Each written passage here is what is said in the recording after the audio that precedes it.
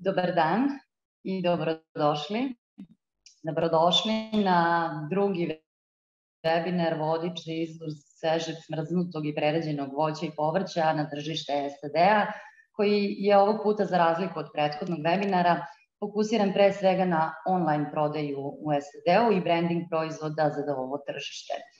Mimo toga, potrudili smo se i pokušali smo da ovog puta znatno i proširimo publiku, te ovaj webinar danas okupio i zainteresovane učesnike iz zemalja regiona, iz Severne Makedonije, Crne Gore, Bosne i Hercegovine. Online edukacija i današnji webinar deo su zajedničkog projekta Organizacije za hranu i poljoprivredu Ujedinjenih nacija i Evropske banke za obnovu i razvoj, programa za razvoj preduzeća i inovacije Zapadnog Balkana i realizovanje u saradnji sa Razvojnom agencijom Srbije. Moje ime je Dragana Krunić, ja sam zaposlen, odnosno PR u Razvojnoj agenciji Srbije i bit ću danas vaš domaćin i moderator ovog webinara. I eto, želim na početku samo jednu tehničku napomenu svima koji su prisutni tu da je obezbeđeni simultani prevod, tako da možete samo klikom na dugme Interpretation da imate simultani prevod ovog webinara. Za one koji su sa nama prvi put ili su se tek priključili, reč je o webinaru koji je namenjen proizvođačima i izvoznicima svežeg, smrznutog ili prerađenog voća i povrća iz regiona. Cilj je da vam danas prenesemo konkretne i korisne informacije kako, naravno i savete kada je reč o izvozu na tržište Sjedinjenih američkih država. Sjedinjene američke države su drugo najveće svetsko tržište hrane a izvoznici sa prostora Zapadnog Balkana imaju veliku šansu da uvećaju izvoz upravo pronalaskom svoje niše na tržištu SAD-a. Kako je online prodaja u uzletu, a posebno u Sjedinjenim američkim državama, gde se očekuje da će u narednom periodu sa trenutnih 7% porasti na 11.2% ukupne prodaje hrane u SAD-u, ovo je prilika da se obskrbite svim informacijama, znanjima, o tome šta su trendovi, šta su to potrebe ovog tržišta i kako da se najbolje pripremite za poslovanje na ovom tržištu. Webinar vodič za izvoz svežeg smrznutog prerađenog voća i povrća na tržište SAD-a organizovan je kao deo zajedničkog projekta FAO i Evropske banke za obnovu i razvoj. Projekat se zove Podrška diversifikaciji izvoza poljoprivrednog i prehrambenog sektora Zapadnog Balkana i Istočne Evrope. Projekat pruža podršku domaćim kompanijama u pristupu novim tržištima i jačanju njihove konkurentnosti, jačanju konkurentnosti poljoprivrednog i prehrambenog sektora. U okviru projekta izrađena je i prva edukativna elektronska platforma koja obuhvata praktičan vodič i online video serijal usmeren ka unapređenju znanja, informisanosti i podizanju konkurentnosti izvoznika svežeg, smrznutog i prerađenog voća i povrća na tržište SAD-a. Podsećam vas da ovom online vodiču možete uvek pristupiti to putem stranice vodič.ras.gov.rs. A za sve one koji nisu još uvek posetili ovaj jedinstveni sajt, ja toplo preporučujem da pogledate i potpuno besplatno dobijete sve relevantne informacije od naših eksperata o izvozu voća i povrća na tržište SAD-a. Pre nego što počnemo i sa zvaničnim delom, napomenula bih da možete postaviti naravno pitanja za naše današnje govornike i to u delu chat, a mi imamo predviđeno na kraju samog događaja deo za pitanja i odgovore i diskusiju. Sada sa zadovoljstvom najavljujem prvog govornika, Emanuela Hidiera, višeg ekonomista organizacije za hranu i poljoprivredu Jedinih nacija. Hello, Emanuel, welcome. The floor is yours. Thank you. Hvala Dragana, dobar dan svima, hvala vam što ste nam se pridružili, što ste se pridružili ovom webinaru. Moje ime je Emanuel Idier, ja sam viši ekonomista u Organizaciji za hranu i poljoprivredu Jedinih nacija. Radim u savjetodavnom centru pomenute organizacije, kao što je Dragana navela. Jako mi je drago što mogu da zajedno sa njom upriličim ovaj webinar. Ovaj projekat zajedno sprovodimo sa Evropskom bankom za rekonstrukciju i razvoj, kao što je Dragana spomenula. Ime projekta je podrška diversifikaciji izvoza poljoprivrednog i prehrambenog sektora Zapadnog Balkana i Istočne Evrope. FAO, odnosno Organizacija za hranu i poljoprivredu Ujedinjenih nacija i Evropska banka za rekonstrukciju i razvoj veoma blisko sarađuju, pogotovo na pitanju poljoprivrede širom našeg regiona. Mi radimo sa timom za agribiznis Evropske banke.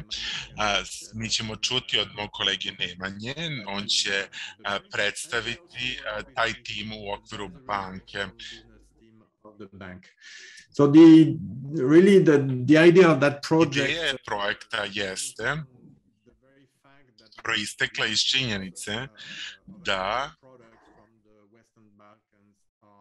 very concentrated into a few um, se, uh, da je Zapadni Balkan uh, fokusiran na izvoz na nekoliko zemalja, uh, na zemlje regiona i u manjem opsegu na Rusiju prosto oslanjanje na ta tržišta jeste rizično i dolazi do toga da određena tržišta nisu adekvatno um, adekvatno obrađena, odnosno određena a, tržišta a, nisu of 40 billion dollars. adekvatno a, a, ne, nema pristup određenim tržištima. Um, a što se tiče Sjedinjih američkih država, postoji dovoljno prostora zbog deficita koji postoji a, u Americi, kada govorimo o poljoprivredi i a, prehrambenoj industriji, postoji taj deficit koji omogućava proizvođačima iz Zapadnog Balkana da nađu svoju nišu u Americi od 2015. na ovamo u Americi je došlo do uvećanja od 5,5% u izvozu u ovoj oblasti. Ovo je drugi webinar koji organizujemo na ovu temu. video tutorials and today we will take the view probably of the needs Danas ćemo uh, se fokusirati na privatni sektor, sagledat ćemo pitanje brandinga, elektronskog poslovanja i slično. Neću vas zamarati više, radujem se što ću imati prilike da čujem šta danas naši partneri imaju da kažu. Naša regionalna razvojna agencija Srbije jeste domaćin ovog webinara, veoma nam je drago što sa njima sarađujemo. Pored toga tu je i Privredna komora Srbije. Veoma smo im zahvalni što zna, njihovo prisustvo znači da je ova tema od velike važnosti za srpsku ekonomiju i privredu. Neću reći više, još jednom hvala vam, nadam se da će diskusije biti interesantne i dajem sada reč mom kolegi Nemanji. Upravo ste, hvala na ovim uvodnim rečima. Sada, kao što je Emanuel rekao, će nam se obratiti Nemanja Grgić, on je menadžer BRD-a za tehničku saradnju u agrobiznis sektoru, rukovodi projektima koji pomažu modernizaciju proizvodnje hrane pri Balkanu, ali i u drugim zemljama u Istočnoj Evropi i Centralnoj Aziji. Nemanja, izvoli. Hvala, hvala puno Dragana, hvala, hvala Emanuel um, i dobar dan svima. Uh, uh, zadovoljstvo mi je da vas evo kratko samo pozdravim uh, i u ime Europske banke za obnovu i razvoj koja zajedno sa Organizacijom za hranu i poljoprivredu jednih nacija sprovodi ovaj projekat promocije i diverzifikacije izvoza na Zapadnom Balkanu. Um, Kao što je Dragana pomenula, ovo je uh, projekat regionalnog karaktera, dakle Srbija, Bosna i Hercegovina, Severna Makedonija, Crna Gora, uh, mnogo ljudi iz ovih zemalja učestvuje i, i do sada projekat je u najvećoj meri bio usmeren na sektor voća i povrća, koji je prepoznat kao sektor agribiznisa sa zaista velikim potencijalom u, u, u ovim zemljama. Um, I ova naša konkretna inicijativa ima dakle za cilj da upozna kompanije, ali i javni sektor uh, iz regiona um, sa dakle glavnim karakteristikama tržišta, uh, uh, formalnim nekim uslovima za plasman hrane, trendovima u brandingu, u, u, u dizajnu proizvoda, online prodaji i tako dalje. To će biti i fokus ove diskusije danas. Um, veliko hvala svakako i Razvojnoj agenciji Srbije sa kojim realizujemo ovaj projekat i uh, dakle do sada za, na, na veoma uh, konstruktivnoj saradnji. Um, dakle, eto, da, da, da vas pozovem da, da odvojite malo vremena i propratite, ja mislim, ove veoma zanimljive uh, prezentacije i, i nadam se zanimljive pitanja koje ćemo imati na kraju, da će naši eksperti imati vremena da, da odgovore na, na sva vaša pitanja. Um, prethodni webinar je zaista ovako privukao pažnju javnosti i medija i nadamo se da, da, će, da će i ovaj danas takođe. Um, I da, um, ono što je Dragana pomenula, dakle na samom sajtu Razvojne agencije Srbije, uh, veoma nam je drago i da, da, da, da je vodič uh, online, uh, dakle sav ovaj sadržaj možete, možete pristupiti i preko, preko sajta. Um, nadam se i radujem se dobrom sastanku. Na kraju hvala i FAO naravno na, na dobroj saradnji, na ovom važnom projektu um, i da pomenemo dakle veliko hvala i donatorima koji su pomogli ovaj projekat, a to su Centralna Evropska inicijativa, a, a, vlada Italije i Evropske unije. Hvala još jednom. Hvala tebi Nemanja. Da, tako je, da podsjetimo još jednom da je moguće pristupiti vodiču na vodič.ras.gov.rs, to nije na odmet uvek pomenuti, ili na sajtu Razvojne agencije Srbije.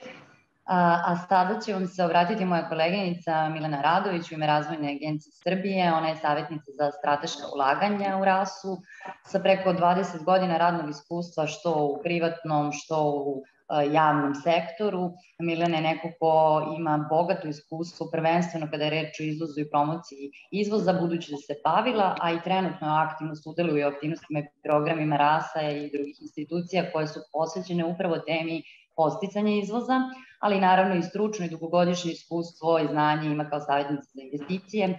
Koleginica Radić će vam ukratko i prezentovati program podrške privrednim društvima za promociju izvoza, odnosno šta to RAS trenutno sprovodi kada je reč o podršci i promociji izvoza. Milena, izvoli.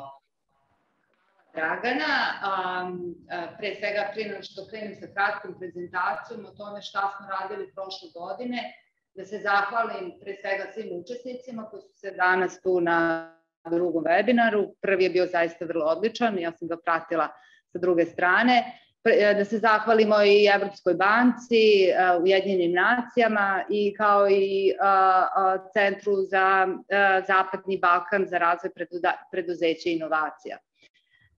Kratka prezentacija se u stvari odnosi, samo moment,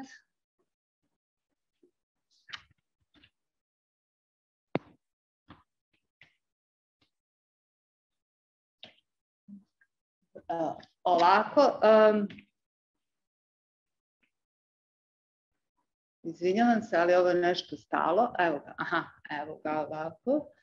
Um,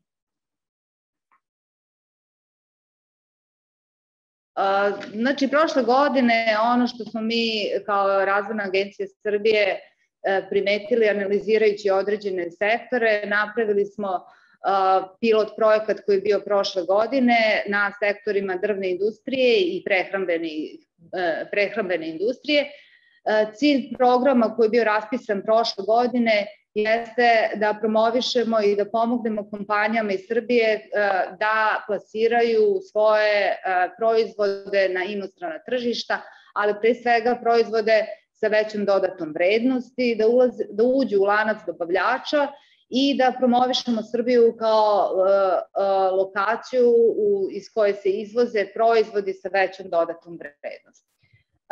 Nedostaci koje smo primetili na našem tržištu jeste pre svega znanje.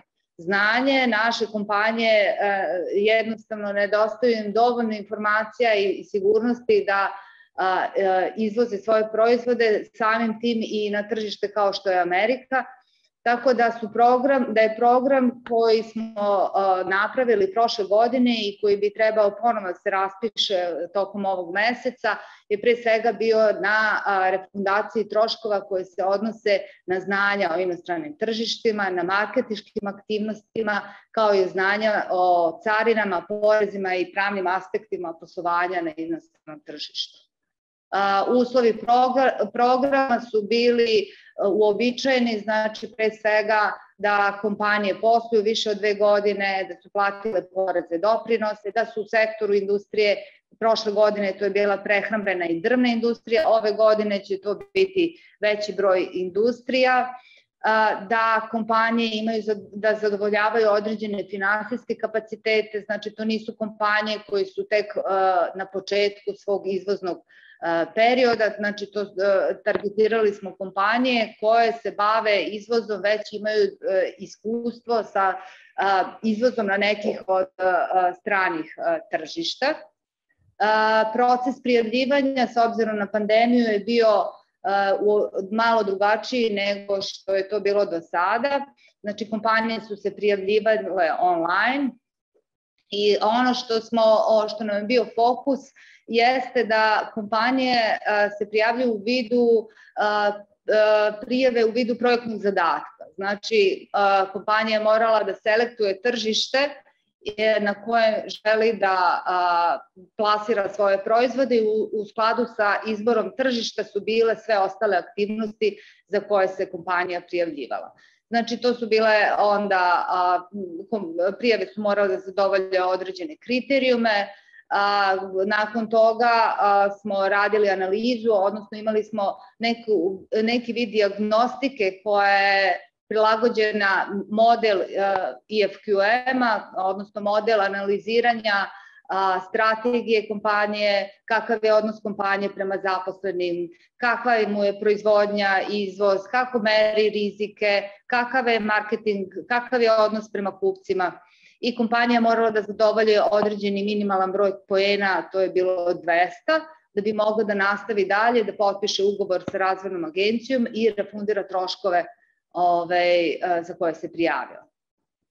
Cilj u stvari ovakvog načina analiziranja kompanija jeste da i zaposleni u razvojnoj agenciji steknu uvid kako kompanije koje se bave izvodom posluju i na koji način i možemo da pomognemo kroz razne aktivnosti, buduće aktivnosti, buduće programe. U, a, izvinjavam se, aktivnosti, ono što je u stvari najvažnije za koje su kompanije mogle da se prijave, je pre svega a, da analiziraju tržište i odnosno, odnosno gde žele da idu. Znači razne vidovi a, analize tržišta, proizvoda, marketing planovi, Um, onda uh, aktivnosti koje su se odnosili na optimizaciju proizvodnih procesa, kupovine specifične opreme koje je u funkciji povećanja kapaciteta radi izvoza na to ciljno tržište i ve, uh, isto tako uh, i uh, refundacije troškova koji su se odnosile na finansijsko upravljanje, znanja vezana za online prodaju na tržištu, znanja vezana za pravne i carinske aspekte. Ovo je kratak pregled šta je to što smo radili kao razvojna agencija prošle godine. Ove godine planiramo ovaj, da raspišemo novi poziv. On će biti najverovatnije raspitan u narednih par dana. Pozivam sve kompanije koji su zainteresovane da nas kontaktiraju, ovaj, da im pojasnimo kako je to bilo prošle godine, da im pomognemo da se prijave i da pokušaju da plasiraju svoje proizvode na tržište e, e, Sjedinjenih američke držište ili neku drugu u zavisnosti od toga što im odgovara. Ovim bi završila i pozivam vas da nastavimo dalje ovaj webinar jer mislim da je ovo vrlo korisno ne samo za kompanije Srbije originalno. Hvala. Hvala Milena. A mi nastavljamo dalje. Sledeći koji ćemo se vratiti je Marko Mandić, rukovodilac Centra za komorski investicioni forum Zapadnog Balkana u Privrednoj komori Srbije. Ujedno je i nacionalni koordinator Komorskog investicionog foruma PB6, zajedničke asocijacije šest privrednih komora, koja je nastala 2017. godine kao odgovor poslovne zajednice. Od 2016. godine Marko se bavi pitanjima regionalne ekonomske integracije i stvaranje zajedničkog tržišta na Zapadnom Balkanu i pitanjima koje se tiču CEFTA preko berlinskog procesa do inicijative Otvoreni Balkan. Marko, izvoli. Dobar dan svima. E, hvala vam na, na, na pozivu. E, e, pre svega, pošto je tema, tema izvoz u, u Sjedinjene američke države, ovde a webinaru učestvuju kompanije iz, iz drugih van Srbije, drugih ekonomija Zapadnog Balkana. Ideja jeste i ono što bih ja volao da prezentujem jeste pre svega par, par reči o, o asocijaciji šest komora koju smo osnovali e, i formalno kao, kao posebno pravno lice sa sedištem u Trstu 2017. godine, a zatim i bazu dobavljača koju smo razvili i koja je uh, uh, najavljena uh, i demo verzija puštena tokom ovogodišnjeg samita u Berlinu u okviru berlinskog procesa, a koja je pre nekih mesec dana u potpunosti počela sa radom i koji može da se pristupi. Ja bi pustio sad u chat adresu našeg sajta, s tim što onda ću da šerujem, pa, pa možete pratiti i preko share screena kako to izgleda, mislim da je tako daleko jednostavnije da, da, da, da prezentujem. Uh, share screen. Ovo je, jel se vidimo svi, uh, uh, vidi se. U gornjem levom čošku je, je, je logo, logo KIF-a. Samo ono što je, znači zajednička komora faktički smo zajednička komora šest e, komora e, e, Zapadnog Balkana. Nastali smo na marginama Berlinskog procesa i u onome što, što, što je glavni pravac stvaranja zajedničkog tržišta na Zapadnom Balkanu i tu kao komore pre svega gledamo kako da, da olakšamo poslovanje naših kompanija međusobno, ali isto tako što nam je veoma važno jeste e, zajednički nastup ka e, tržištu Evropske unije koje je svakom od nas, od naših ekonomija glavno, glavno izvozno tržište. Osnovna ideja e, u pozadini stvaranja zajedničkog tržišta jeste faktički smanjenje troškova poslovanja kompanija u regionu među sobom i takva stvaranje viših oblika saradnje tako da zajedno možemo konkurentnije da, da nastupimo ka EU, ali i ka drugim, drugim svetskim tržištima. E, kada se ode na naš sajt, jedna, e, odmah na samom početku, jeste sada e, link za, za bazu dobavljača koji smo razvili, koji želim predstavim. Ovo je ona baza kada se pristupi, ona će imati nekoliko modula. Prvi je supply chain modul, Nakon toga biće business to business, to je e, faktički za, za, za zakazivanje B2B sastanaka koje sad se koriste različite platforme, mi razvijamo sobstvenu.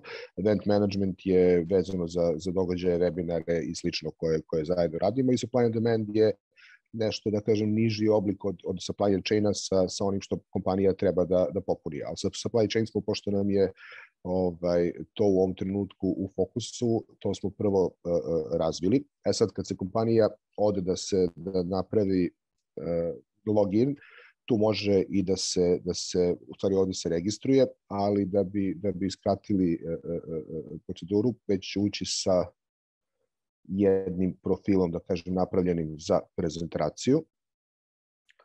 Ovo je uh, uh, upoznani platforme. U ovom trenutku postoji 1556 korisnika iz 1417 kompanija koji su već uh, na platformi. Stvari u tome više ima korisnika nego kompanije, jer svaka kompanija može da ima više korisnika koji se na kompanijski nalog, da kažem, vezuju. To su različiti ljudi iz, iz, iz kompanije koje različite aspekte vode, tako da nije ograničeno na jedan na jednog korisnika po kompaniji. Baza dobavljača e, ne odnosi se samo na, na da kažem, fizičke proizvode, već i na, već i na usluge, iako daleko više se proizvoda trenutno nudi. Samo pomerim.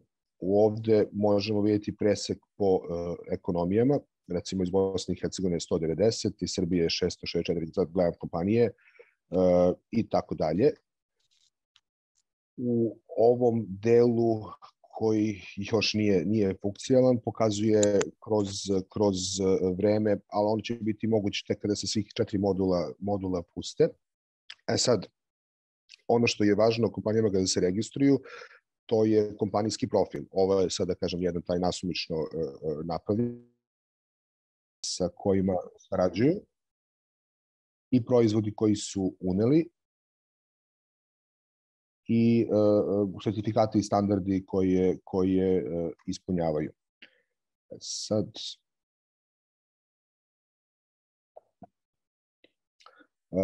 u osnovi u osnovi to je to je baza koju sada razvijamo kao što ste videli oko 1000 uh, i po 1000 i nešto kompanije već popunilo ja pre svega pozivam sve prisutne koji su ovde od strane kompanija koji prate prate ovaj webinar da, da pogledaju naš sajt i da pristupe ovoj bazi, da popune svoj profil. Pored toga možete nas kontaktirati, na, na sajtu su kontakti za, za, za, za svaku komoru koji je u toj komori koordinator, tako da za kompanije iz Srbije to je centar koji vodim u Prirodnoj komori Srbije, za druge, za druge zemlje to su kolege iz drugih komora. Slobodno nas kontaktirajte, za sve što, što recimo da, da, da, da dosta aktivnosti sprovodimo, upravo ovaj, smo u ovom trenutku u Tirani, na sajmu u Tirani da smo vodili delegaciju od 30 malih proizvođača iz prehrambene industrije, tako da često uh, uh, radimo isto i događaje, webinare, poslovne delegacije, vodimo mailing listu, ukoliko želite da primate obaveštenja o tome i pozive o tome šta radimo, više nego rado e, e, e, bi vas pozvali na naše buduće aktivnosti, tako da za sve što, što možemo da vam pomognemo, tu smo i ja i kolege iz ostalih pet komora Zapadnog Balkana. Hvala vam. Hvala Marko, ja sam sigurna da su ovo prvo bile i korisne informacije i sigurna sam da će inicijative imati i uspehe, da će biti dosta prijavljenih, dosta profila i kompanija u bazi, to nam je svima u interesu. A, a sada počinjemo i sa ovim zvaničnim delom, glavnim delom u stvari našeg webinara, gde će vam elektronski vodič za izvoz svežeg, smrznutog i prerađenog voća i povrća na SAD tržište predstaviti pa ko bolje nego sam autor vodiča, Zlatko Jovanović. Zlatko je neko koje je stručno iskustvo i znanje sticao godinama tokom rada u vladinom sektoru Republike Srbije, Ministarstvo poljoprivrede Sjedinjenih američkih država, u okviru brojnih projekata u oblasti privrede i poljoprivrede, u okviru programa saradnje SAD-a i Republike Srbije i naravno programa, eh, programa tehničke podrške Evropske unije Republici Srbiji i Zapadnom Balkanu. Zlatko, izvoli. Hvala Dragana, hvala na ovako lepom predstavljanju. Nadam, nadam se da se vidimo i čujemo kako treba. Zahvaljujem se svim učesnicima, posebno kolegama iz FAO i BRD-a na ukazanom eto, poverenju i prepoznavanju upravo ovih mogućnosti da domaćim firmama, kad kažem domaćim, mislim na ceo region, pomognemo upravo ovakvim deljenjem znanja o onome što se što mnogi ljudi misle da se podrazumeva i da unapred znaju procedure, međutim kada se zakopa po određenim tržištima koje su ogromni potencijal za E, potencijalno za naše izvoznike, onda se shvati koliko zapravo i ne znamo o tome.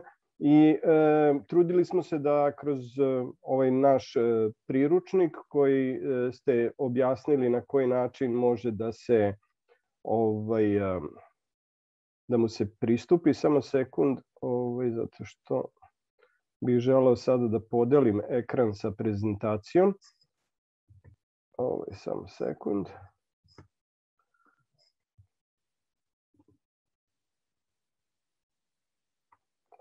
Da, ovaj, kao što smo rekli, znači link ka prezentaciji je više puta pomenut, ali nije zgoreg još jedan put reći da je to sajt vodič.ras.gov.rs. Potrebno je registrovati se na njega i u okviru njega, pored drugih korisnih sadržaja, možete doći i do ovog priručnika. Priručnik je evo ovde na drugom, ovaj, kako da kažem, tabu imam i njegov izgled, jako je lepo dizajniran i ono što moram naglasiti je da ga morate koristiti kao elektronski dokument. Vi njega možete odštampati, međutim on je bukvalno premrežen sa korisnim linkovima i, i u ovoj prezentaciji mi smo se trudili da vam objasnimo gde se šta nalazi. Ja neću detaljno prolaziti kroz ceo ovaj priručnik koji ima preko 50 strana, nego ću samo gledati da pokrijem određene aspekte na koje treba obratiti pažnju i šta on zapravo sadrži. E, on se sastoji otprilike od nekoliko delova gde se na početku prikazuju potencijali za plasman proizvoda od voća i povrća u Sjedinjene države, zatim jedno malo poglavlje, odnosno informacija kako pronaći e, važeće propise koji se tiču ove oblasti u SAD, zatim e, posebno i najveće poglavlje koje se odnosi na e, nadležnosti Američke agencije za hranu i lekove, zatim one procedure koje se tiču carinske službe Sjedinjenih američkih država, odnosno CBP, e, i nadležnosti Američkog ministarstva poljoprivrede koje uopšte nisu zanemarljive, USDA. E, posebno korisno po, malo poglavlje jeste, jesu primeri iz prakse gde se posebno zahvaljujem firmama Sirogojno kompanije iz Srbije i PD, e, e, GMP i Jarmenovci takođe iz Srbije, koji su sa nama podelili svoje iskustva i ko će bolje pričati o izvozu u Ameriku o, od onih koji već toliko godina uspešno tamo nastupaju i znaju sve, ovaj, hoću da kažem, i prilike i opasnosti i prepreke sa kojima su se suočavali. I na kraju, ništa manje važno, malo poglavlja o korisnim kontaktima e, u Americi, ko nam tamo može pomoći oko uvoza i ostale poveznice koje se tiču sajmova, magazina, žurnala i tako dalje, gde možemo dobiti korisne informacije o, e, o voću i povrću i tržištima. Potencijal tržišta za SAD i kolega Manuel iz FAO je pomenuo koliko je to veliko tržište i koliko je značajno i da je na njemu veliki trend uvoza iz Sjedinjenih američkih država od uvoza proizvoda voća, od voća i povrća iz raznih zemalja sveta. E, obradili smo ukratko koliko je to bilo moguće e, tržište malo prodaje, supermarketa, zatim online trgovine o kojoj ćemo danas nešto više čuti.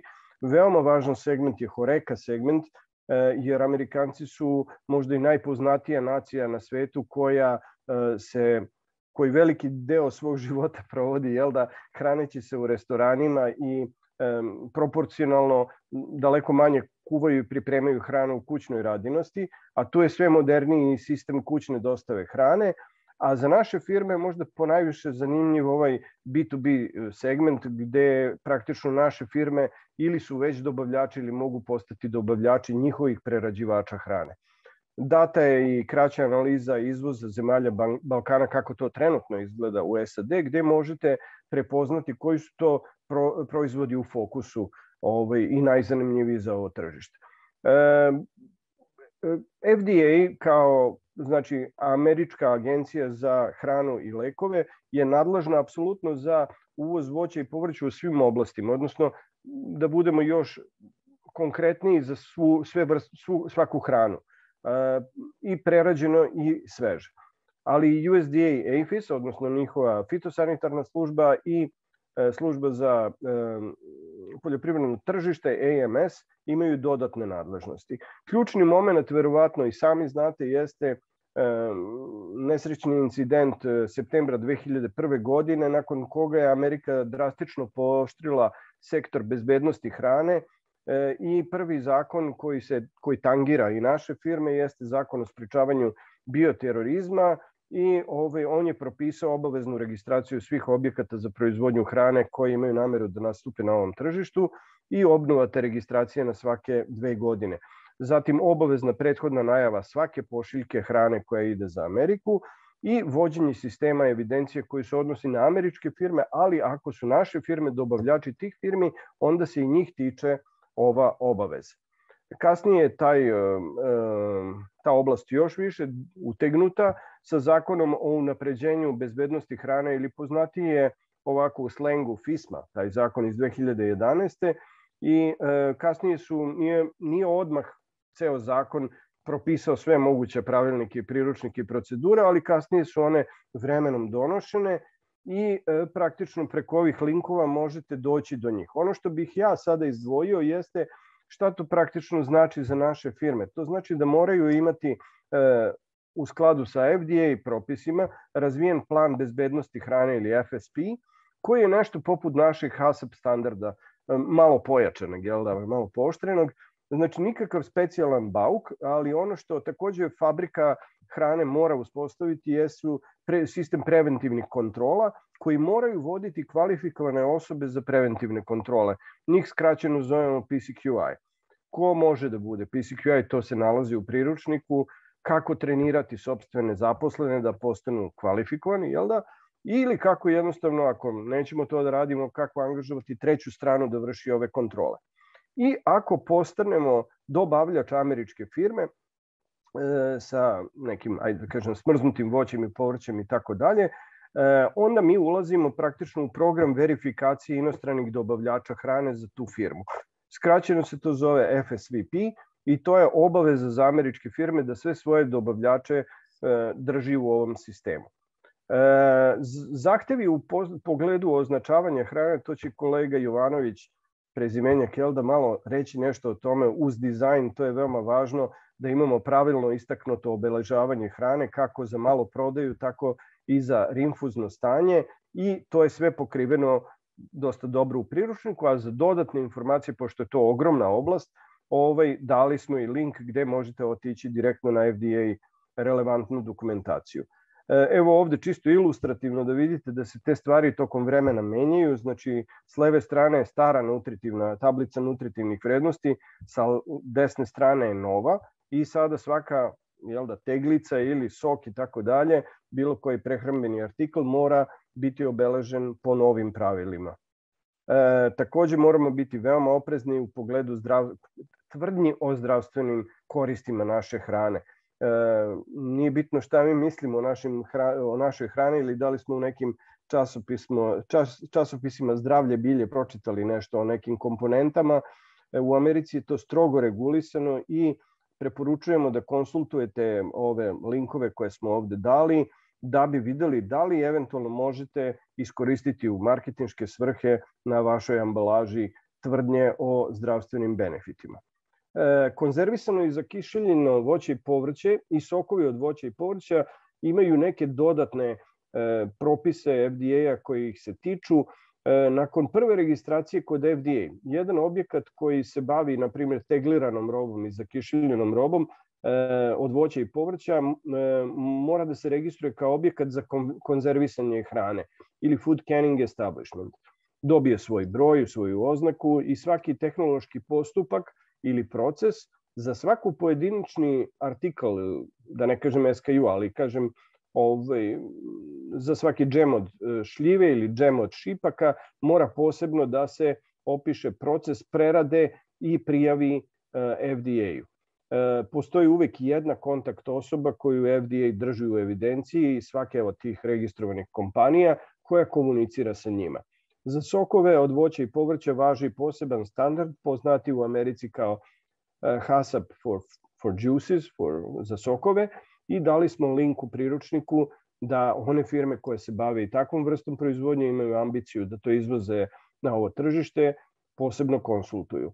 E, aditivi i boje u hrani su posebna oblast, e, razlikuje se Evropska unija od Sjedinjenih država u ovoj oblasti i svakako treba ispoštovati i njihove nazive e, ovih aditiva.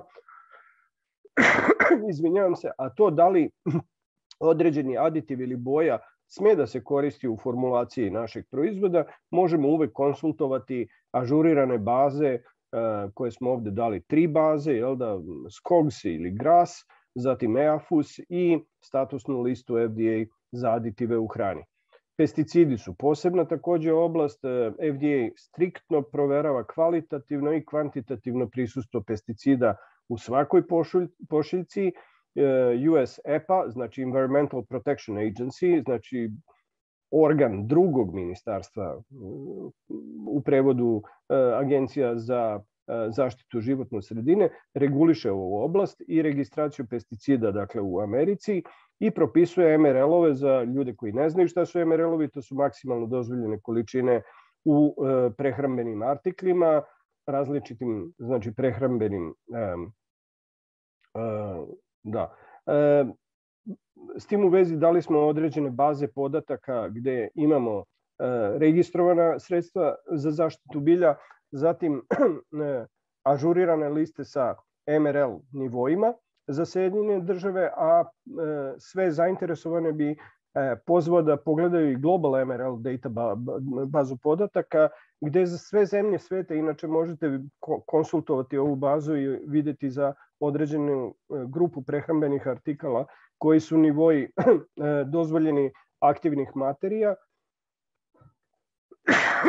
Zatim, Ono što je takođe u priručniku prikazano jeste e, e, lista upozorenja pri uvozu, gde morate znati da su Amerikanci rigorozni u ovom u ovoj oblasti i da su transparentni, što je možda i dobro, a možda i još gore za firme koje, kod kojih se nađe nedozvoljena substanca. Oni to veoma javno i transparentno prikažu. E, procedure u vezi sa carinskom službom SAD su posebno date. E, ja bih samo rekao da je da su Srbija, Makedonija i Bosna i Hercegovina e, bile do decembra 2020. godine pokrivene generalizovanim sistemom preferencijala Sjedinjenih država, gde smo imali određene carinske povlastice za izvoz.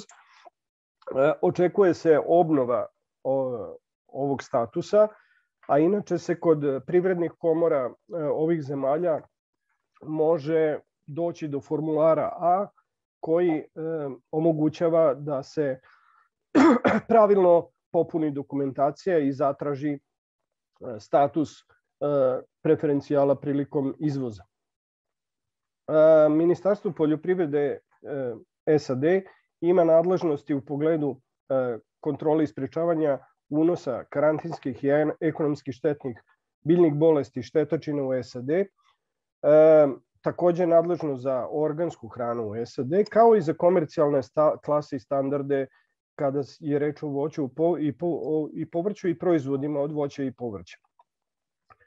E, opisane su procedure u pogledu fitosanitarnog sertifikata, zatim dobijanje dozvole za uvoz bilja i korišćenje njihove FAVIR baze podataka preko koje možete praktično pretražiti da li je određena bolest ili štetočina karantinska za određenu zemlju e, i tako dalje.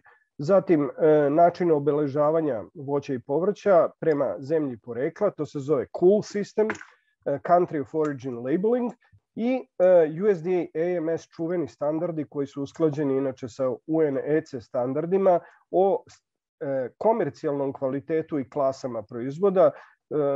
Zaista je korisna ovaj, koristan izvor informacija za sve ljude koje se bave trgovinom jer predstavljaju jedinstveni jezik za industriju voća i povrća i za uvoznike i za trgovce i jasno opisuju kvalitet i stanje robe.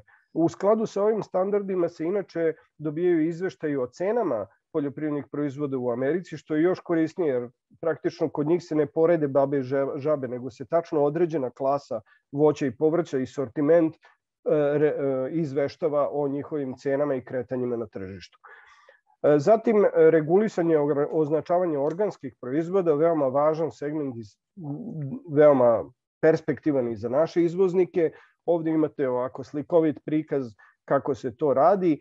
Evropska unija inače usaglasila svoje procedure u e, dobijanju organskih sertifikata i Evropska unija i Amerika međusobno pri, priznaju svoje organske sertifikate, međutim, nažalost, za treće zemlje, jel da, evropski u okviru Evrope, kao što smo mi, Makedonija ili Bosna, moramo imati, e, kako da kažem, USDA priznati sertifikat, što nije bauk, postoje sertifikacione kuće koje to ovde obavljaju.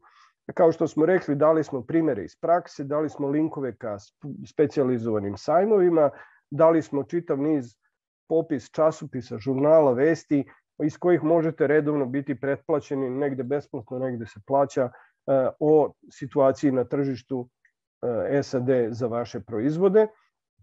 I samo da ponovimo još jedan put, sedam važnih stvari potrebna važeća FDA do, registracija, potreban vam je agent koji komunicira, odnosno uvoznik koji komunicira sa FDA u SAD, proizvod mora biti pravilno deklarisan i obeležen, sastojci moraju biti u skladu sa američkim zahtevima i u pogledu aditiva i boja i pesticida. I e, oni objekti koji se bave konzervisanjem hrane moraju imati posebno, ajde da kažem, FCA, FCI brojeve i poštovati te procedure. Neophodna je prethodna najava svake pošiljke kod FDA, a proizvodnje i objekti moraju biti usklađeni sa propisima FISMA zakona. E, hvala na pažnji, ja ne bi više oduzimao vremena, ako kasnije bude bilo nekih e, pitanja, ja ću rado odgovoriti. Šta znam, naravno. Hvala Zlatko.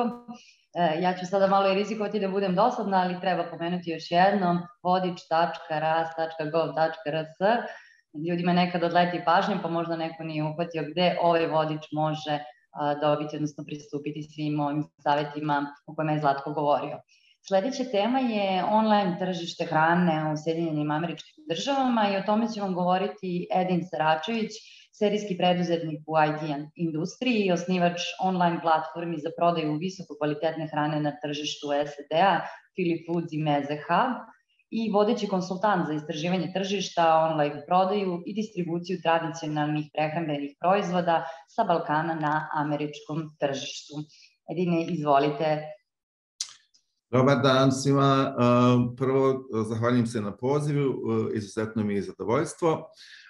Naravno, u nekoliko narednih minuta u mojoj prezentaciji ja ću se pokušati maksimalno fokusirati više na, na naravno na tržište hrane u Americi generalno, ali sa posebnim fokusom na online komponentu. Dodirnut ćemo i neke buduće modele koji se na neki način ovde već polako najavljuju, a istovremeno ćemo i pokazati na koji način naše kompanije, odnosno naši proizvođači mogu postati aktivni učesnici u tom ekosistemu. Ja ću sada da podijelim moju prezentaciju, samo mi recite ako je to sada on. E, super. Da, dakle, za sami početak, da bismo razumjeli trenutne trendove tržišta u Americi, neophodno nam je osvrnuti se na proteklu godinu, koja je bila u, u, u svakoj, po svakom presiku presedan i koja je donijela revolucionarne promjene u, u tradicionalnom modelu kupovine hrane u, u Americi. Očigledno da osnovni razlog za novi trend kupovine namirnica u Americi je svakako pandemija, ali i bez daljnjeg i brzina i efikasnost i adaptivnost svih velikih američkih lanaca, odnosno supermarketa, koji su se na, vjeru, na vjerovatno kratak period prebacile fokus na model online naručivanja, isporuke i dostave. Kao što se to tvrdi da je e, stoljeće ranije kada je e, španska gripa e, imala sličan efekat kao što je COVID ove godine, kaže se da je španska gripa radikalno unaprijedila telefonski sistem koji do tada je bio manje više sporadičan i onda nakon španske gripe je definitivno postao ono svakodnevnica za komunikaciju. Tako nešto se slično desilo i sa COVID-om, u pogotovo fokusirano na dakle online prodaju hrane. Kao što vidimo, možemo jel, sasvim sigurno reći da ta tradicionalna, kako mi ga zovemo, in-store kupovina je zamijenjena sa nekoliko različitih online opcija, koje su naravno in-store kupovina koja je bila pri COVID, 2020. 2021. godine počinju se dešavati tri komponente koje su dakle istodnevne isporuke, dakle isporuke u toku istog dana, nationwide shipping i, i takozvani pick-up u, marketima. I, I kupovina i sigurnosti svog doma uz jednostavnost i praktičnost online kupovne jednostavno je privolila ogroman broj novih korisnika, napravila dramatičan shift na marketu. Tako vidimo da online distributivni kanali počinju da budu takozvani temelj za, za buduće modele, u kojima sada se transformiraju u takozvane hibride, gdje jedan dio marketa se dizajnira i oprema u skladu sa zahtjevima za što efikasniju online uslugu isporuke hrane. Modeli za budućnost sa kojima se već počne eksperimentirati su takozvani mračni marketi, kako se ovde zovu, ili dark markets, koji su koncipirani po uzoru na sličan fenomen koji se desio i sa restoranima koji se zvali ghost restorani, a to su restorani koji jednostavno su rade samo online dostavu, u kojima nije bilo mogućnost da dakle, gost ušeta u restoran, dakle nije bilo fizičkih stolova i stolica, nego su samo de facto bile a, kuhinje koje su radile jeli, hranu koju su reklamirane na online portalima i onda isporučivale kupcima.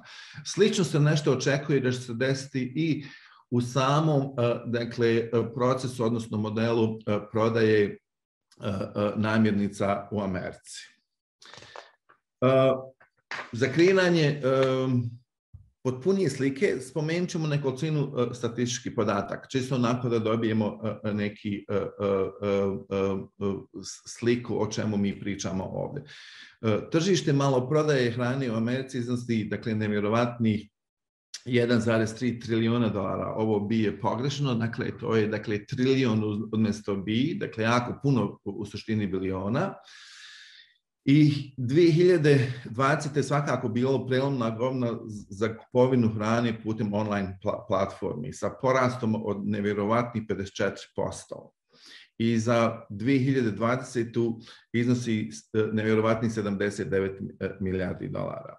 E, nove analize pokazuju da za ovu godinu čak očekuju porast na dodatni 98 milijardi, što na neki način nam pokazuje da bez obzira na ogroman rast prošle godine, e, vidimo da se i, i dalje, vidimo da i dalje to čini manje od 10%, hajmo reći, ukupnog marketa u Americi, tako da su očekivanja da će do 2023. godine prerasti sumu od 150 milijardi dolara, odnosno ostvariti ponovno uvećanje od 50%. E sada, e, kad pričamo o trendovima, e, ispominjemo tu naravno online rekao bi kanale, moramo obratiti pažnju uh, prvo na uh, nevjerovatne brojke. Dakle, ovdje više se ne spominje 50, 100, 150 i tako dalje, nego se u odnosu na prethodnu godinu brojke koje u nekom najmanjem segmentu izgledaju 250%, sada dakle, idu i do 734%. Dakle, očigledno najpopularniji su pick-up isporuke. A to je dakle online uh, narudžba koju uh, kupac dakle uh, samo pokupi autom, nekomu je stavi u, u prtljažnik i tako dalje i to je dakle očigledno najpopularniji oblik novog ajmo reći, e, e, načina kupovine. E, kompletna se kupovina izvrši u svojoj kući na online portalu, dakle i onda samo u, u, u vremenu kada vama, vi samo napravite takozvani drive-thru, neko vam to ubaci i vi ste završili sa tim. Nakon toga sleduju shipping, shipping isporuke, koje, dakle, i shipping i same day delivery uh, uh, u ovom kvantificiranju od 350 pa do recimo 200% povećanja, one su značajno manje nego prva opcija zato što oni imaju dodatni kost, odnosno cijenu koja je asocirana sa njima, odnosno kupci, odnosno korisnici moraju platiti dodatni onaj fee da bi koristili ova dva servisa. Shipping je naravno shipping je onaj koji funkcioniše na teritoriji čitave Amerike i same day isporuka je otprilike door to door, dakle to vam neko donese na vratu.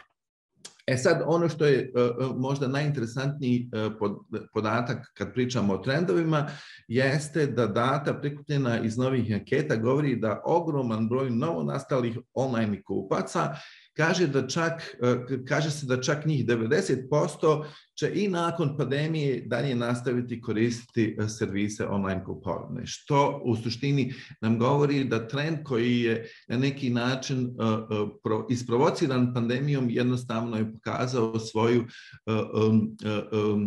primamljivost, odnosno jednostavnost, tako da danas ljudi jednostavno ne vide vraćanje na taj neki prošli model koji je funkcionisao prije. E za ovakav jel, agresivan uspon trenda online kupovine namirnica, osim COVID-a svakako su uh, uh, zaslužne i online platforme. Naj, ovdje smo samo nabrali neke koji su nekolicina ključnih, koji na neki način funkcionišu u različitim domenima. Naravno, najucenije online platforme za prodaju hrane u Americi su nedvojbeno Amazon i Walmart. Obje nude sve opcije online servisa, a ono što je bitno, one usporedo posjeduju i lanac stvarnih marketa, dok ostale platforme koje vidimo ovde izlistane su u suštini samo često uslužni online servisi za direktnu dostavu ili čak logistiku šipovanja bez da posjeduju stvarne markete. Walmart uh, po najnovijoj analizi čak prednjači online kupovini uh, hrane sa 37% odnosno na 28% potrošača koji su odlučili da to urade na amazon.com. Dakle, to su, ja mislim da je onaj igra između ta dva ogromna jel, ono major kompanije velikana.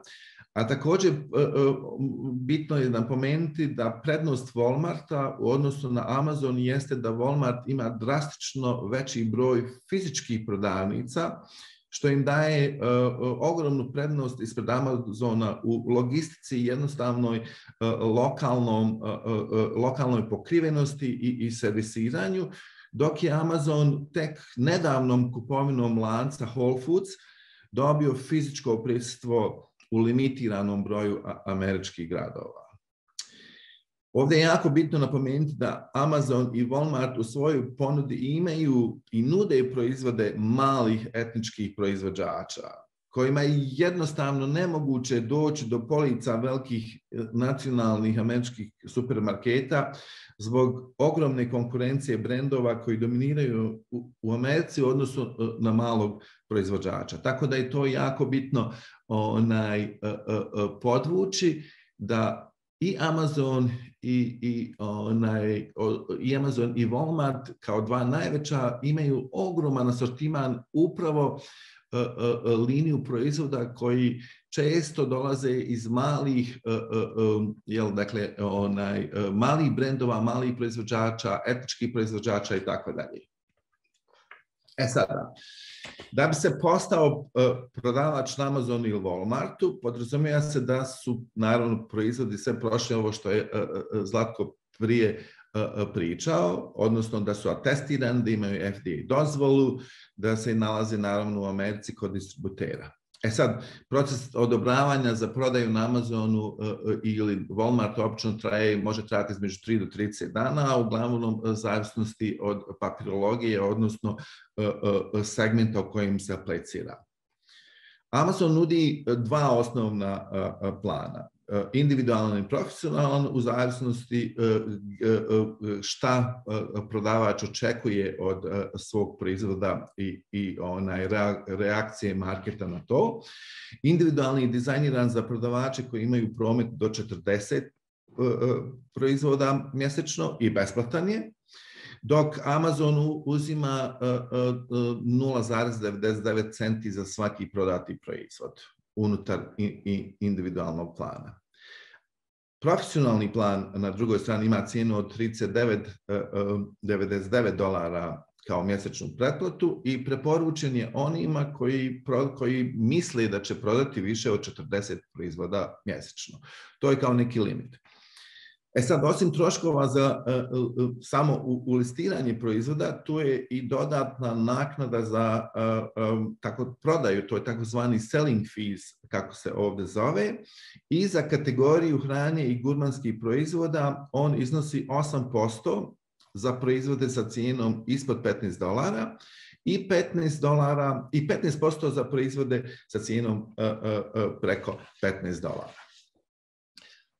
Na drugoj e, strani Walmart e, e, za prodavače koji prodaju na njihovoj platformi nudi besplatan servis, ali sa fiksiranom naknadom za prodaju koja za kategoriju hrane iznosi 15%.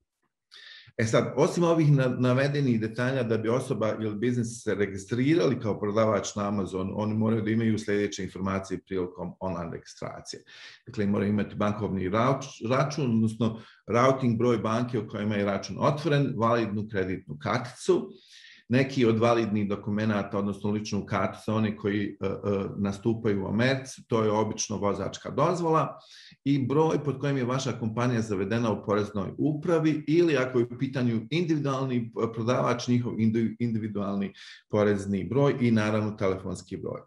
Slični zahtjevi su izlistani prilikom registracije na Walmartu, pri čemu prodavači su obavezni imati registrirani biznis i porezni broj kompanije koja mora biti registrovana u Americi, takozvani IN broj. Dakle, razlika između Amazona i Walmarta je ključna da e, Walmart dopušta samo biznisima e, prodaju i registraciju, dok Amazon e, pravi izuzetak i za pojedince. E sada, da bi na kraju, iminentno je jel, da, da e-commerce temeljno mijenja ekosistem distribucije hrane i način na koji potrošači kupuju svoje prehrambene proizvode i šta očekuju u budućnosti od svog supermarketa.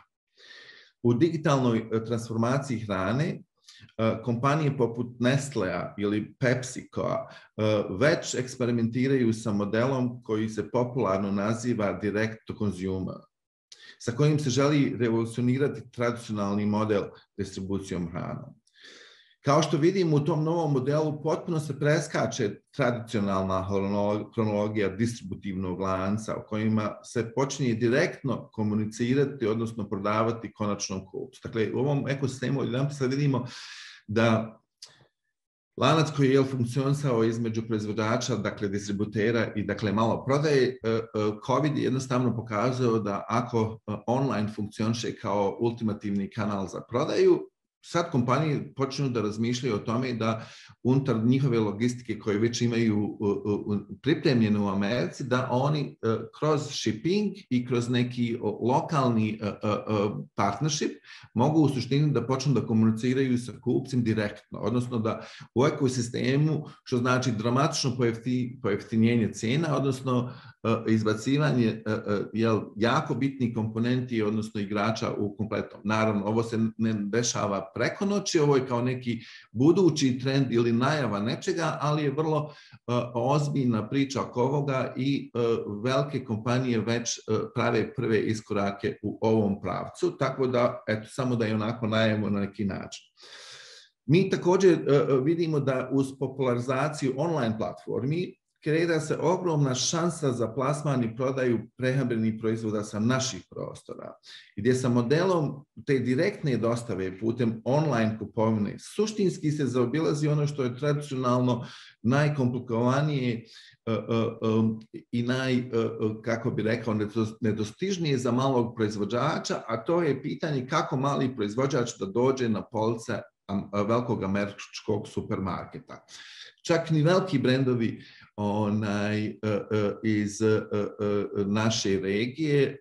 Vrlo rijetko ćete vidjeti na policama, zato što je prvo preskupa, prvo kompeticija je ogromna, pogotovo računajući na velike brendove, a možda najinteresantniji podatak je taj, a, a to je bez obzira da li ste u, u nekom trenutku uspjeli šarmirati nekoga uh, i napraviti neki business development uh, uh, jel, ugovor sa jednostavno potražnja, odnosno kupci koji dolaze u supermarket, ako ta roba ne ide, što bi se reklo, jel, ako ne ide sa polica, odnosno ne kupuje se ta polica, bez obzira, bez obzira koliko ste je platili, u jednom trenutku će vam biti E, e, nemoguće za održavanje zato što e, vlasnik lanca prvo i osnovno želi da vidi da se roba kupuje. E sad, online naravno daje tu vrlo pogodnost da roba može biti fizički skladištena bilo gdje i da putem kroz metode shippinga i, i drugih direktnih dostava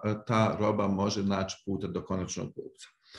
I sasvim sam sigurno da e, e, e, nastajanjem novih digitalnih servisa po pitanju kupovine i dostave hrane na američkom tržištu će puno postati pristupačnije i otvorenije za prehrambene proizvođače iz naše regije i naša preporuka je da svi proizvođači trebaju da imaju to na um kada se razmišljaju o plasmanu svojih roba i usluga za Ameriku.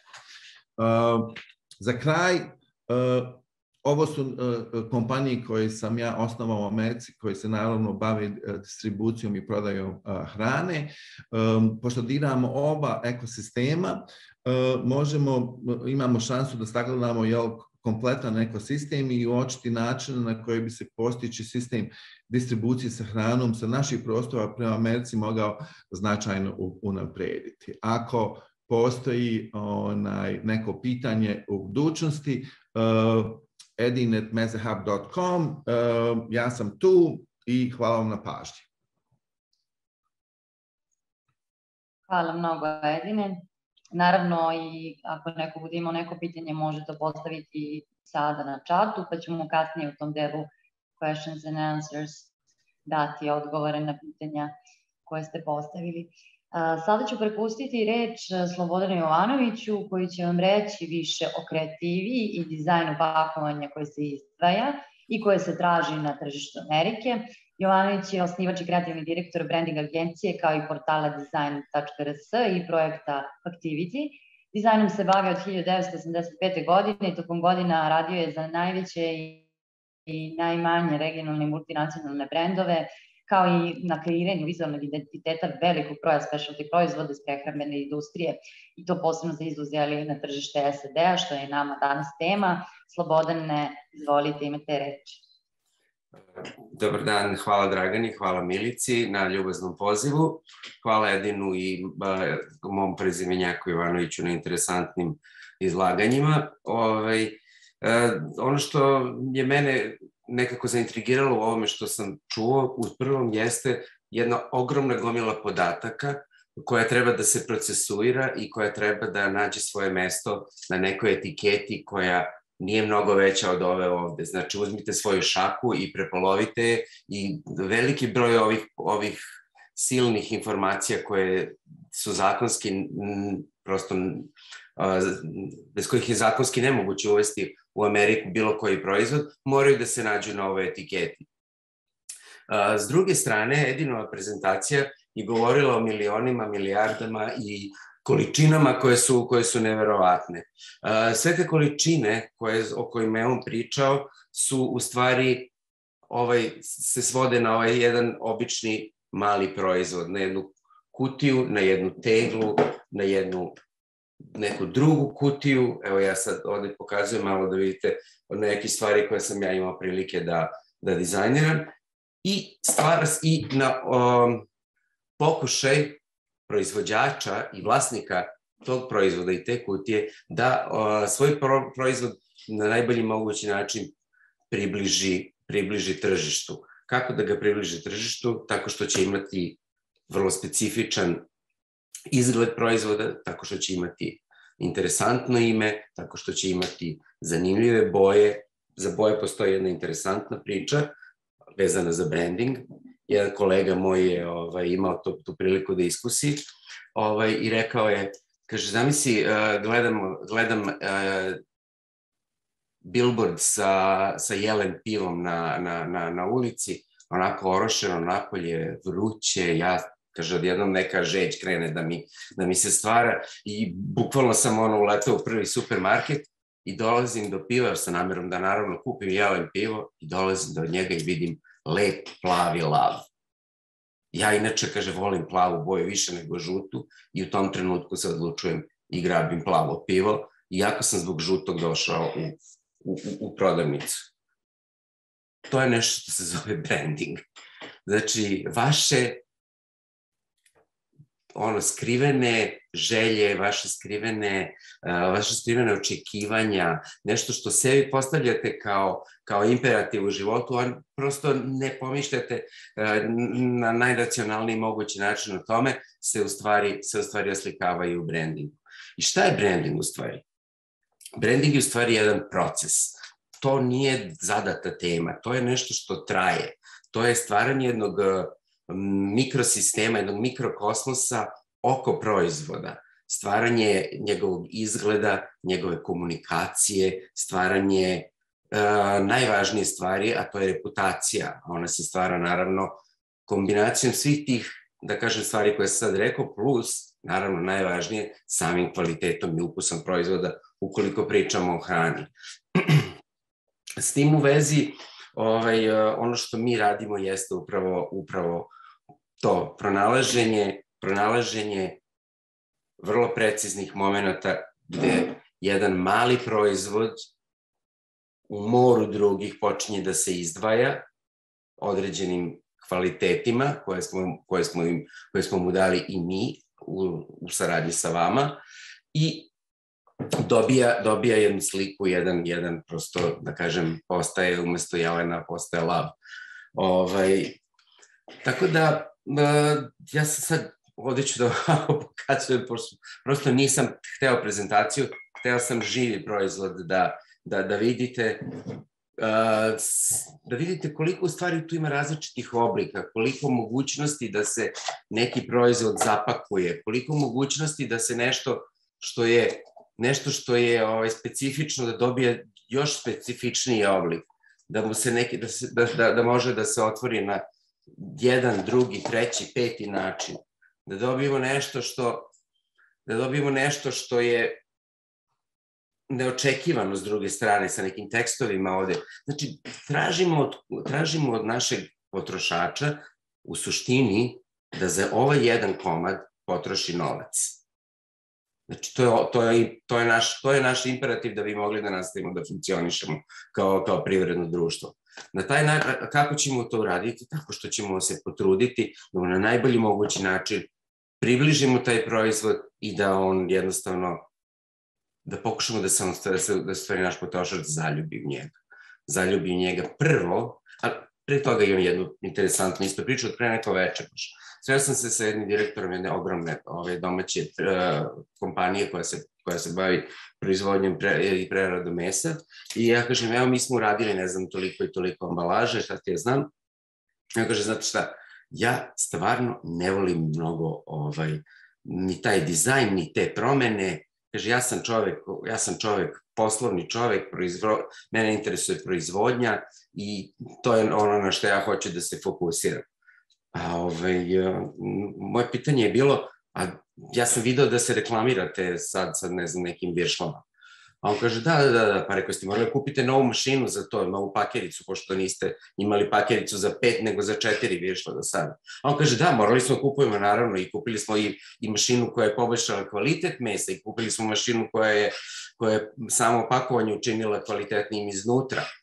Rekao, a, ovaj, znači, vi ste rekli da ne volite promene, čemu onda kupovina, čemu onda kupovina tih uh, mašina kada realno našeg, našeg, našeg potrošača apsolutno ne zanima ta mašina. Znači, to ne možete da komunicirate kao nešto što će da intrigirati i upaliti maštu bilo koga ko, ko želi da kupi vaš proizvod. Vaš proizvod može da zapali dobra ambalaža, odlično ime jedna priča koja se koja se širi kroz što veći, što veći mogući broj kanala. Uh, šta znači kroz što veći broj, što veći broj kanala? Edin je pominjao uh, Walmart i, i, i, i, i Amazon. Znači, vaš proizvod se na jednom sajtu nalazi kao jedna fotografija. Znači, fotografija je jako važna. Kako ona izgleda? Da li će ona biti dovoljno sugestivna da, da kad, kad, vide ne, kad vidi neko moj proizvod može da ga poveže sa sa nekim svojim očekivanjima u životu, da li može da recimo ovaj sir konkretno već vidi na svom stolu i već vidi konzumaciju uz neko vino, uz neki hleb, uz neki džem, znači da napravi čitav jedan, čitav jedan setup uh, svojih očekivanja, to je takozvana semiotika, čitav set očekivanja koja mogu da proizađu iz, iz onoga što nam brand nudi kao, kao perspektivu. Tako da branding je, da kažem, ja, kao što sam rekao, jedan proces. Znači, ovo ne može, vi ne možete da napravite ambalažu i da kažete da, ja imam brand. Brand je prve, prve, prve, prvaskodno reputacija vaša na tržištu i reputacija vašeg proizvoda na tržištu. Onda kada vi uh, vidite jedan proizvod, i prolazeći pored njega i nešto vam zaiskri u stomaku i kažete, u, ovo je super stvar, ovo sam prepoznao, ovo sam probao, ovo me odvelo ovamo nam, to je brand. Znači nešto što vas emotivno veže za proizvod, nešto što vam, što vam otvori bukvalno ono dizne za, za sreću u telu. Ovaj, da endorfin proključa. Sve je povezano u, u brandingu sa, sa, sa, našim, sa, našim, sa našom svešću i sa našim, našim očima, sa našim mirisom, sa našim čulima. I ovaj, svaki proizvod mora da doživi tu transformaciju ovaj, kroz, kroz, sve, kroz sve čujne, ovaj, da kažem, kanale opet, kako bi mogao da, kako bi mogao da bude primećen na prvom mestu, jer realno nikoga nije briga za naš proizvod. Znači, mi možete da kažete da, da ja, ja imam super proizvod, on je fantastičan, da, da, da, i to će da kaže njih deset i svi će da pričaju kako imaju super proizvod, a u stvari niko neće zapamtiti šta šta je to što ste, što ste vi rekli, zato što možda niste rekli pravu stvar, možda niste rekli nešto što će u odnosu na ovih deset da izdvoji nešto, da izdvoji na određen način vaš proizvod i da kaže E da, da, setio sam, sećam se ovaj rekao da je da su da, je, da su ovi džemovi fenomenalni, da, da ih je njih, ne znam, baka pravila u, u, u, u ovom, kako se zove, u, u plavom, u plavoj šerpi sa, sa, sa, sa belim tačkicama ili obratno. U svakom slučaju, znači, po, rekao sam da je, znači, to je stvaranje jednog ekosistema oko proizvoda. Ime, svrha proizvoda. Danas savremeni kupci kupuju, svr, kupuju svrhu, kupuju ideju o proizvodu vrlo često. Uh, ono što je isto važno jeste, naravno, uh, website, jer vi čujete za nešto, neko vam kaže, kažem, e, znaš, si čuo za onaj proizvod od koga ti ono raste kosa i bude ti bujnije i bude božanstvenija ovaj, posle, posle dva pranja. I ti kažeš, koji je to proizvod? I odmah uzimaš telefon i kao, da vidim ja šta je to. Odeš na Instagram, odeš na website, da se edukuješ, da vidiš šta je to, pa sad ako ti se dopadne slika na Instagramu, ti ćeš da kažeš, o, da, ovo je zanimljivo, ovo je nešto što, što, što ima, što meni pripada. Ja to mogu da kupim, ja to mogu sebi da priuštim, pod jedan što je strava, pod dva, vezuje se uz neki moj životni stil i ispunjava neke moje potrebe kao, kao ovaj, jedinke koja koja je u potrazi uvek novoj za, za stvarima koje, koje, koje, koje su nam neophodne da tu neku našu viziju o, o savršenosti ispunimo. E, pa brand upravo radi na tome i brand upravo stvara tu želju i tu, i tu potrebu da proizvod bude prihvaćen, shvaćen i naravno kupljen to bi bilo otprilike jedno kratko, krat, kratak uvod u branding. Ovaj, ja mogu da, ja ću ostaviti u četu moju web adresu, pa možete da, da pa pogledate nešto od stvari koje smo radili. Ovaj, ukoliko ima neko pitanje ili šta god, ako mogu da vam pomognem, vrlo rado ću se odazvati na vaš poziv. Hvala vam.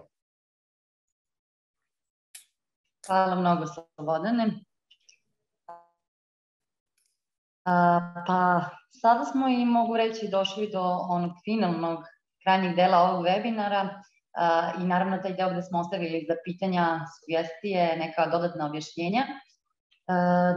Koliko vidim, ovde ne znam u čatu za sada nemam pitanja, ali ja imam neka pitanja koja možda će biti pokriti možda neke vaše nedoumice, da bih sada pitala je to uh, Slatka, na primer, šta je to što bi izvoznici, na šta bi izvoznici trebali da obrate najviše pažnje kada je reč o procesima proizvodnje voća i povrća ili prerade i koje je u suštini usko vezano za izvoz na SAD tržište? E, hvala Dragana, pa dobro pitanje, ovaj, ali nije, nije jednostavno baš ovako, e, kada bi, za, pošto je industrija voća i povrća široko pitanje, imamo sveže, imamo smrznuto, imamo prerađeno i teglirano i u svakom od, ovog, od ovih segmenata e, proizvodnje i prerade postoje određeni rizici koje FDA kao što smo rekli tokom prezentacije kontroliše. Tako da bi za sveže i smrznuto ipak naglasio da je e, prvi osnovni potencijalni problem e, nivo pesticida, odnosno korišćenje nedozvoljenih aktivnih materija. Takođe, kod industrije e, smrznutog pa i svežeg voća i povrća, e, pomenuo bi prisustvo nepravilnog pakovanja, odnosno bilo kojih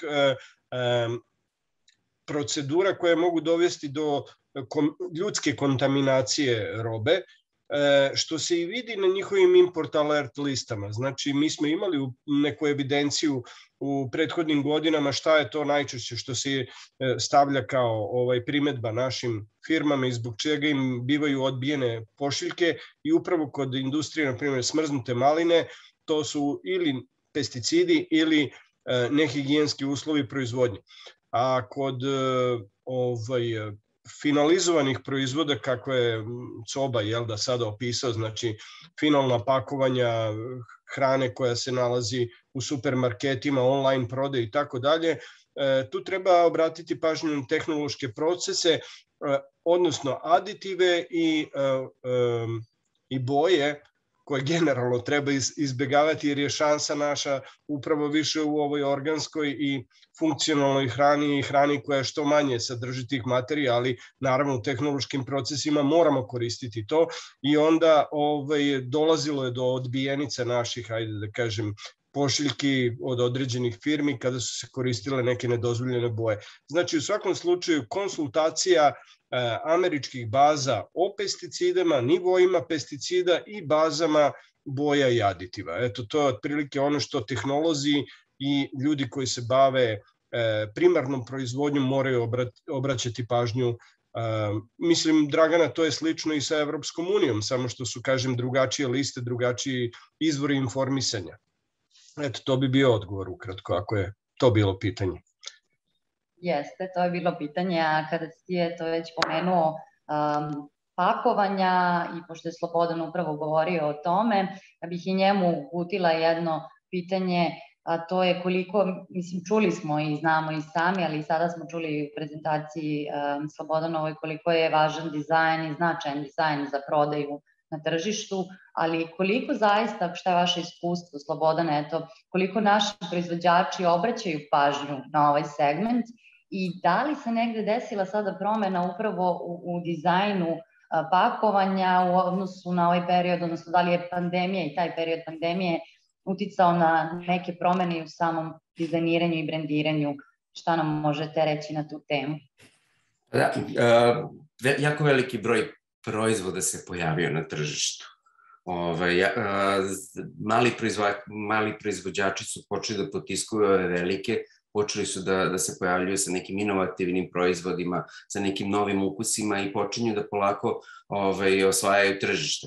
Da bi to uradili, ambalaža je tu, ono, da kažem, prvi kontakt sa proizvodom i uh, mislim za, za američko tržište smo radili mislim jedno 6-7 proizvoda ovaj, prvi, prvi smo radili još 2004. ili 5. godine slagaću vas pošto smo imali prilike da da sarađujemo sa USAID-em na, pro, na, na, na, vrlo sličnom proje, na vrlo sličnom projektu i to smo radili neke tri i po četiri godine.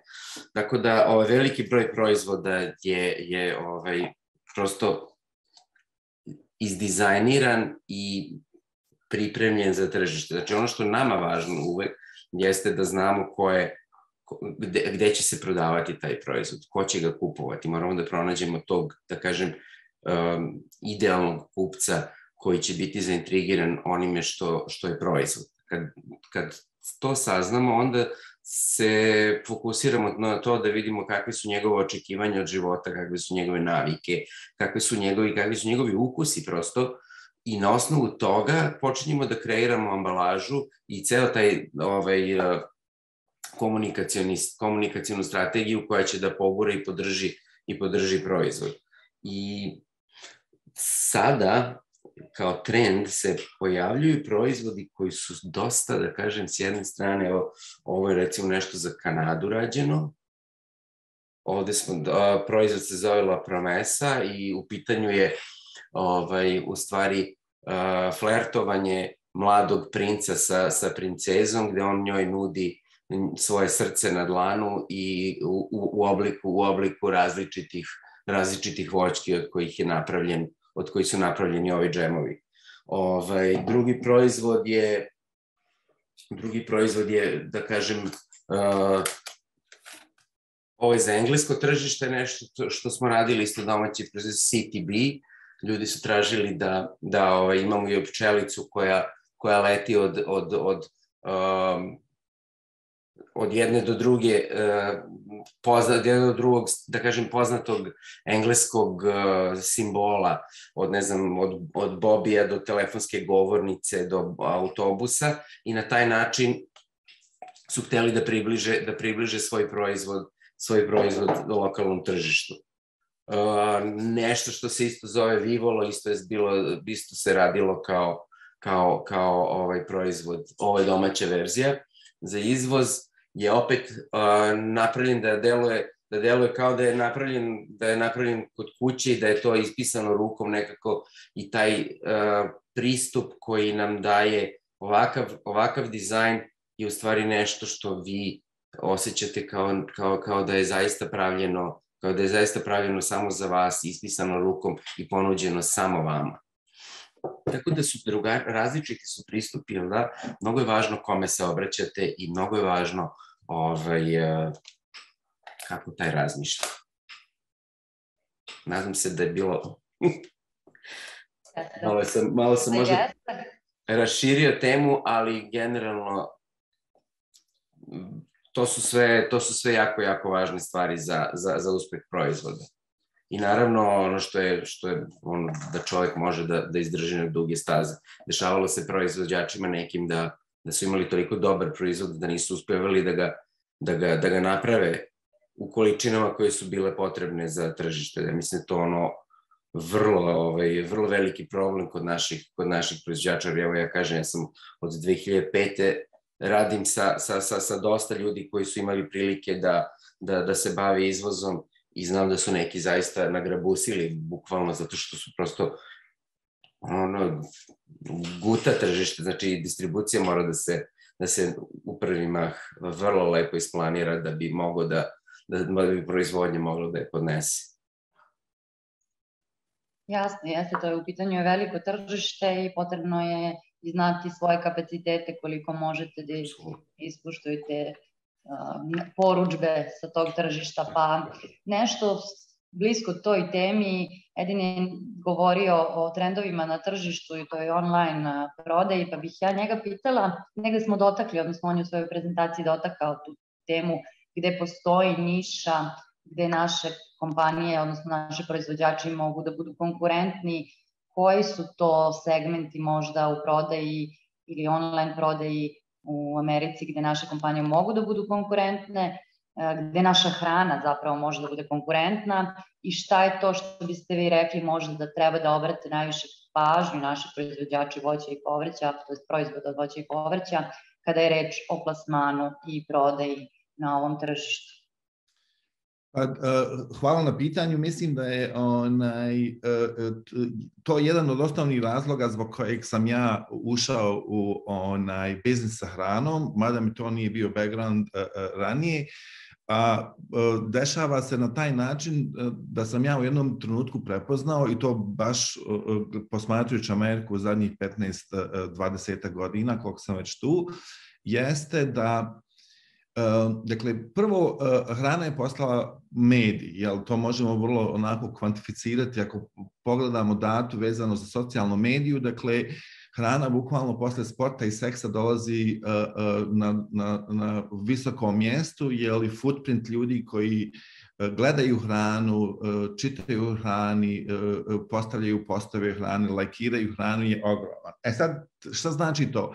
To znači da su nove generacije ili ljudi koji su jednostavno sada uh, u, u, u tom nekom, um, hajmo reći, ona eksploziji interneta i svih tih uh, tulova koje internet nudi, jednostavno su otvoreni, uh, prvo lakše je saznati o nečemu, dobiti neki onaj konkretan detalj, aha, šta je to Arivar, aha, o čemu Sarmata ima ikakve veze, aha, zašto su ti džemovi interesantniji iz ovog dijela, ne iz ovog i tako dalje. Dakle, prvo ljudi puno više znaju, a drugo ljudi su generalno mi nalazimo da su kupci jednostavno otvoreni da probaju razno razne stvari koji do tada recimo to nije bio znači, svi vole da žive u svojim nekim zatvorenim kulinarskim onaj cjelinama, međutim sad jednostavno je demografija i popularno je da su svi otvoreni da probaju razno razne nove kuhinje i nove proizvode. E sad tu dolazi se jel, do onog pitanja na koji način je vaš uh, proizvod uh, prezentiran. Jel, ako vi uh, uredno napravite kompletne domaće zadatke vezano za testiranje, FDA approval, na, nađete čak i distributore, onda krene u suštini tek počinje pravi posao. A to je, mi u Mezehubu, pošto je Mezehub platforma koja dira više business to consumer, dakle idemo direktno to consumer, jeste na koji način prezentirati sve te proizvode. Dakle, to je ta priča. Na koji način kreirati taj neki emocionalni bond ili kako kreirati tu neku priču ili napraviti razliku između tvog e, džema od jagode ili ispričati priču o čevapšćima. Ili... E sad e, je to je posao koji se ne može završiti preko noći podrazumijeva masu nekih stvari koji dakle mora uh, uh, krenuti od uh, vrlo precizne date gdje vi kad ulistate u Amazon ili Walmart ona mora biti precizna, jasno definisana i to, ali mora biti i lijepa. Što znači lijepa? To znači upravo to, mora biti tri, četiri lijepa slike o tim višlicama ako ih neko pravi. Mora dakle, pokazati kako to izgleda ako su grilovani ili ako su sretni ljudi oko njih pa imaju neki get together i tako dalje. Dakle, to su sve detalji koji Nažalost, mali etnički proizvođači nisu imali onaj previše iskustva čak ni distributivni sistem trenutno u Americi e, na način na koji je napravljen e, nema e, specijalan, hajmo reći, nišu, odnosno osvrt na to, nego više manje funkcioniše kako mi to ovde kažemo na tim moms and pops shopovima. Jel? To su mali, male radnice koje su često onaj, sve, u, sve uh, u tim radnicama je ispisano na našem jeziku, tako da kad neko dođe iz nekog drugog etničkog jel, miljeja, oni se čak ni, ne, ne snalaze tu, pošto ne znaju o čemu se radi. E sad, to je sad taj put na koji mi pokušavamo napraviti prvo da predstavimo našu hranu izvan našeg et, etničkog uh, footprinta, koji naravno uh, nas već nalazi samo od sebe, ako E, napravite vašu online e, e, prezenturu na profesionalan način, ako ulistate Googleove termine pod kojima vas ljudi mogu sačirati i tako dalje i tako dalje. Dakle, oni će vas naći i oni će to kupiti i mi imamo jako intenzivan porast upravo ovog shipmenta gdje je nevjerovatno, ali istinito. Ljudi su spremni platiti po 70-80 dolara shipment da, da dobiju neke lepinje, somune, čevape i ne možeš da vjeruješ. Jel? E, e, I to je taj jel, emocionalni bond dakle, koji e, njih ne sprečava da to. E sada, kako to uraditi da ljudi koji jel, onaj, su tu, a ne znaju šta je taj proizvod, onda se to obično radi kroz raznorazne tastinge, radi se kroz neka videa. Dakle, prezentacija proizvoda je ultimativno bitna, odnosno možda najultimativnija u toj kompletnoj priči. Dakle, socijalni profili za sve proizvode su must have, dakle, svako ko želi da ovde prodaje bilo šta, Mi često imamo problem u Meze Hubu da mi moramo slikati proizvode koji dolaze iz naše regije, jer jednostavno ih ne možeš naći čak ni online. Dakle, ja kad vidim da čovjek koji proizvodi svoj proizvod nije u stanju da plati fotografa i da stavi deset dobrih fotografija na internet gdje se lako mogu konektirati, staviti u, u data bazu i naravno promovirati kroz razno razne kanale, onda mi moramo napraviti upravo tu malu fotografsku sesiju koju smo uradili za beskonačan broj proizvoda, vjerujte mi. I jer ja onda ne mogu da ono da shvatim, ok, ako neko želi da prodaje, onda su ovo su znači ono četiri stvari koje svako mora imati vrlo spremne, a to su dakle profesionalno napravljena etiketa, pakovanje, priča i naravno proizvod mora biti dobar, jel?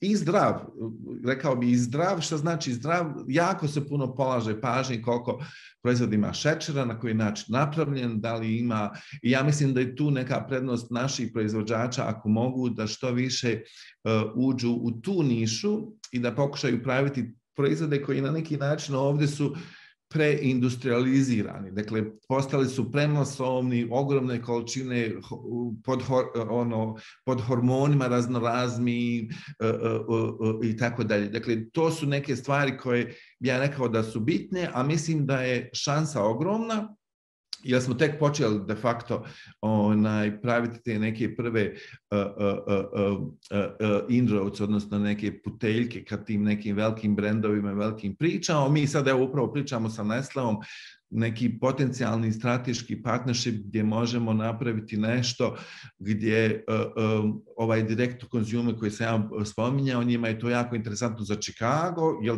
ogromna količina je etničkog marketa tu i oni vide upravo e, veliku šansu u promociji malog proizvođača koji na neki način ima svoju interesantnu priču i na neki način treba ga gurnuti u taj neki mainstream, kako se ovde kaže. Eto, to bi bilo nekako ukratko. Mislim, da. Hvala mnogo, Edine. Ovim bismo i završili današnji uh, webinar. Hvala svima, koristim ovu priliku da se zahvalim i organizatorima, i kolegama, učesnicima, govornicima danas. Mislim da smo pružili dosta informacije ili barem ovaj, postica, postakli prisutne da se dalje informišu, uče, jer to je ono što je osnova napredovanja, pa onda i eto, izlaska na novo tržište kako je SAD. Ovo je bio, kažem, drugi webinar. Nadam se da ćemo imati prilike da se opet okupimo na slične teme i, i da pružimo neko znanje i podršku kao institucije, organizacije pa i pojedinci našim proizvođačima i malim i srednjim biznisima koji su spremni da i žele da budu spremni da izađu na nova tržišta. U ime organizatora i moje lično ime hvala svima na učestvovanju, hvala učesnicima i prisutnima kompanijama pojedincima i to je to, možemo, možemo zatvoriti ovaj webinar i, i videti se nekom drugom prilikom.